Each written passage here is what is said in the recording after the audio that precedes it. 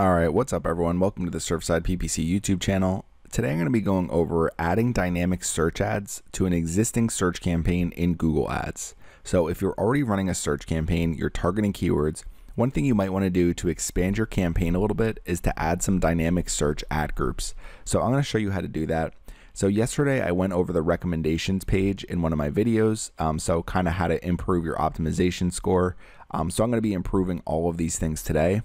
Um, so what I'm going to be doing is creating dynamic search ads. So it's saying it will improve my optimization score by 5.2% if I create dynamic search ads. Um, so what I want to do is go into my search campaign right here. So we're going to open up our search campaign. And what we're going to do is we're going to click on ad groups over here. So all of these ad groups, as you can see, is under ad group type, it's going to be standard. So we're just targeting keywords in all of these different ad groups down here. Um, so we have a little bit over 20 ad groups for this campaign. So what I'm going to be doing is clicking right here to create a new ad group in our existing search campaign. So not a completely new search campaign. We're just going to be creating a new ad group in our existing search campaign. So under ad group type, so it might say standard here. So what you want to do is make sure you switch it from standard to dynamic. So we're going to switch it to dynamic. And what we're going to do is under ad group name, we're going to name it dynamic search ads and maternity belt. So what I'm going to be doing is creating three separate ad groups for these dynamic search ads. So you can see right here, there's three separate products right here. So for each of these individual landing pages, so you can see one, two, three, each of these landing pages, what we're going to be doing is we're going to be creating an ad group for them. So for the first one, dynamic search ads, maternity belt, what I like to do is bid slightly lower on dynamic search ads because I'm already targeting keywords related to pregnancy belts and maternity belts and pregnancy back braces. I want to make sure I'm not starting to compete too much against myself. Um, so under here, under default bid, what I'm going to do is set it to 65 cents. So my bid will be slightly lower than what I'm bidding on keywords. And if I start to drop my keyword bids a little bit, I want to make sure I'm dropping my dynamic search ads bids as well. Um, so over time, as we switch to a target CPA bidding strategy or a target return on ad spend bidding strategy, we don't really need to worry about this too much. Um, and the other thing that we can do is, as a best practice, is as we start seeing some keywords come into this ad group, if we see keywords that are converting or keywords that are performing well, um, what we can do is take those keywords out and separate them out into their own ad groups. Um, so what we're going to do is we're going to scroll down here a little bit. So you have a few different options with dynamic search ads, you can target categories recommended for your website. You can target specific web pages here, or you can target all web pages. Um, so just some different options that you can use. Um, so one thing you can do is target all web pages and maybe just set a bid of, you know, 40 cents, 30 cents, and really just see the types of keywords that are coming in. Um, you just want to make sure you check your search terms report, and I'll show you how to do that afterwards. Um, so you can add negative keywords if you start getting some things that are a little bit too broad or irrelevant to your search campaign.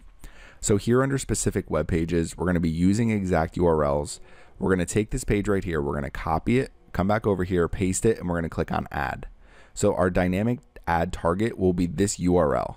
So Google Ads is going to take that URL, take some of the keywords we have in that URL, look at the product, look at the title tags, look at the meta description, basically look at everything that's happening on that page to target our advertisements to other relevant keywords that we're not already targeting within our search campaign.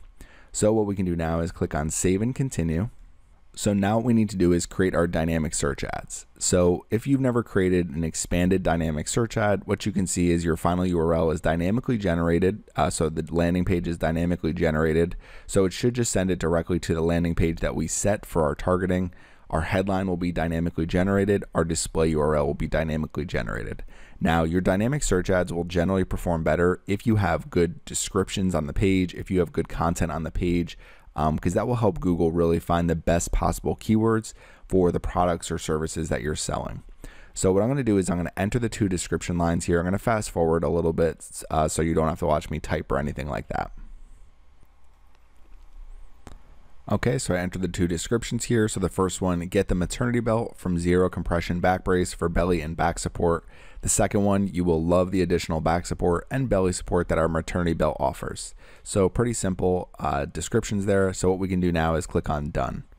Now, a best practice is to run at least multiple advertisements in each ad group. Um, generally, I run at least three advertisements in each individual ad group. For now, I'm just going to keep this one. Um, I'm going to go back and I'm going to create more ads later.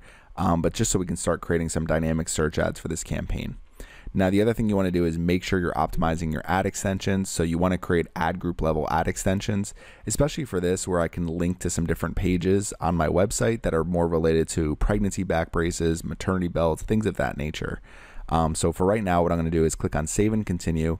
I'm going to go back and improve the ads and extensions a little bit for each individual ad group. So we click on save and continue now. Okay, so if we scroll down a little bit over here to the left, you can see our dynamic search ads maternity belt here. Um, so if we look at our dynamic ad targets, you can see it's the URL that equals for the pregnancy back brace.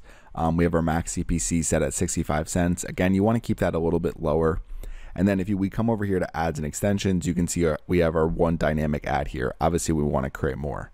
Um, so here under keywords, one thing you can start to look at is if you click on search terms here, you're going to start getting some search terms in for this individual ad group.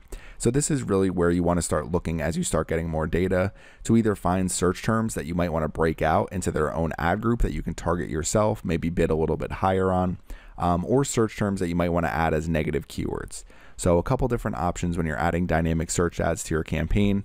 And then the other thing you want to do is when I do create my three different dynamic search ads ad groups, so I'm going to create one for each product. Maybe I'll create a few more if there's anything I find that will be useful for this campaign. What you want to do is go back over to your recommendations tab, just so Google can see that you are adding dynamic search ads to your campaign and just making sure you click on view recommendation here. And rather than adding their recommendation, just click on dismiss um, so that's going to allow you to dismiss this recommendation for right now. So after you add your dynamic search ads to make sure your campaign is as optimized as possible. It's not something you necessarily need to do, but it's something that you can do as you start building out your campaign to make sure your recommendations are always really geared towards some of the things you haven't done yet. So if you have any questions, again, leave them in the comments section. Thanks for watching my video today, and make sure you subscribe to the Surfside PPC YouTube channel.